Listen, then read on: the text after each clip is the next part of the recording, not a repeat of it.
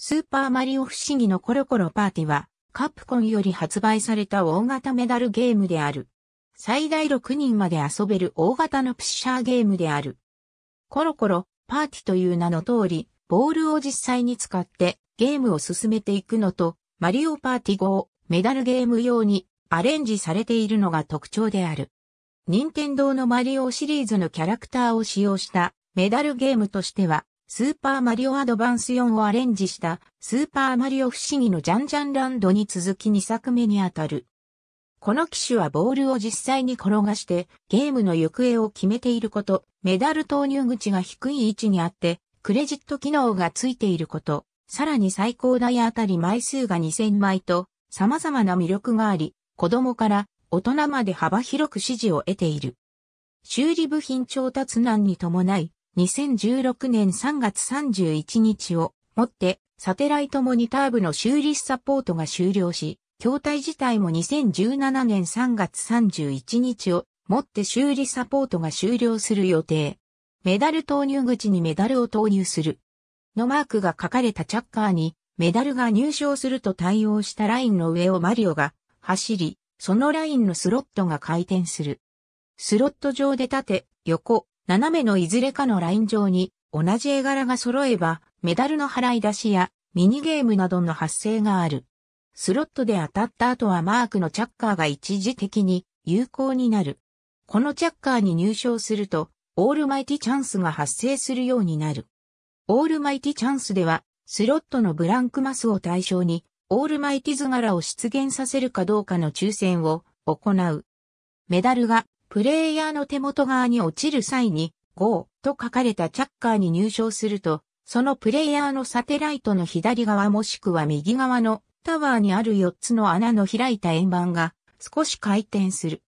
この時ボールがこの円盤の中に入っていると、回転とともに一つ下の段につながるための穴へ接近し、その穴に到達すると一段下へボールが落ちる。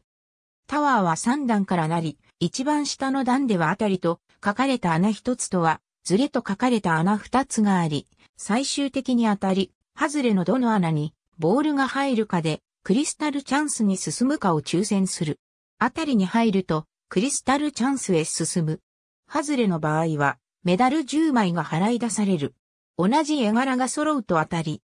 タワーとは、反対側の方に、専用の抽選機が中央に設置された大きなクリスタルと呼ばれる円形のボールの中でゲームが行われる。抽選機を回転させながら4個のクリスタルを投入し、抽選機の四角の穴の開いた部分に最初に入賞したクリスタルの色により SJP チャンスに進むかどうかが決定される。クリスタルの判定は回収後に色を判別することで行われる。クリスタルの色による対応は以下の通りになっている。機体上部にあるお城を模した抽選機を使ってゲームを行う。プレイヤーのサテライト上部にボールが投入された後、抽選機が回転を開始し、どの穴にボールが入賞するかでメダルの払い出し枚数を決定する。払い出し枚数は以下の通りになっている。なお、100と200に入賞した場合は、ボールは回収されずに、どんどんキープされる。キープされたボールは SJP かアウトに入賞するまで回収されることがなく、スーパージャックポットの確率もどんどん上昇する。お城の抽選機は一つしかないため、6台すべてが同じ抽選機を使用することになる。抽選で使用したボールをそのままにしておくというシステムはあまり類がなく、他のプレイヤーに影響されたり、自分が他のプレイヤーに影響することがままある。また、最近では店によってアウトの部分だけ入賞できないようにして100枚200枚、スーパージャックポットのいずれかに当選するようになっているケースがある。スロットでマリオが揃うと、クッパが揃うまで必ずスロットで何かが当たるカーニバルモードに移行する。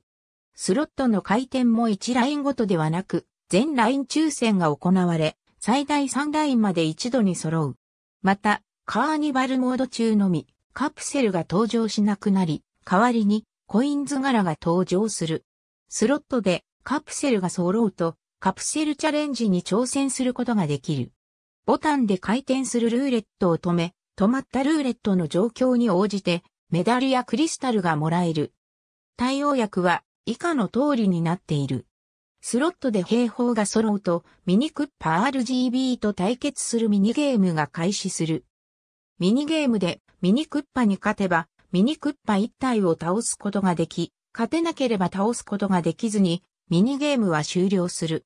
なお、3匹すべて倒すとドリームクリアとなり、ドリームクリアゲームが発生する。ミニゲームは以下の4種類がある。ドリームクリア時に強制的に発生する。クッパとミニクッパ RGB がリベンジを挑んでくるゲームである。内容はクリスタルチャンスで使用する抽選機とボールで決着をつけるゲームである。青1球イコール40枚、青2球イコール60枚、青3球イコール80枚。緑玉が入賞すればプレイヤーの勝ちとなる。青玉なら外れで、メダル0枚になる。なお、ゲームをキャンセルし、20枚のメダルをもらうことも可能。特定の条件下で、ミニクッパ RGB をすべて倒すと発生するゲーム。ルールなどについては、クリスタルチャンスと同じ。通常時に5と書かれたチャッカーに一定回数入賞することで発生。クリスタル、メダル20枚、ハズレのいずれかと繋がったロープを選ぶ。選んで、ロープが発生する。ゲーム終了後に、両サイドに貯められたメダルが払い出される。ある程度の稼働で発生する。の光っているチェッカーにメダルを通過させる。メダル払い出しは1位100枚、2位60枚となる。メダルは100枚くらいは用意した方がいい。自分が勝つ自信があれば、参加しても良いが、自信がなければ破棄した方が良い。対戦ゲームで1位になったステーションのみの得点。クルーンを使ったゲームでリターンマッチとほぼ同じである。赤か緑か青を選び、選んだ色が入賞したら60枚、外れたら0枚。なお、キャンセルすれば20枚。ありがとうございます。